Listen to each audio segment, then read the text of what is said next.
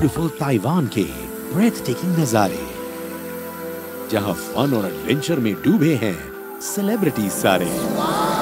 कभी साइकिलिंग तो कभी पैराशूट रनिंग कभी फ़िश लैंटन के लिए इमोशनल आउटिंग फिटनेस सेशन में था एक नया चैलेंज हर रोज। और ये एपिसोड है एंटरटेनमेंट का full dose From India with love. Download and subscribe now. Epic On.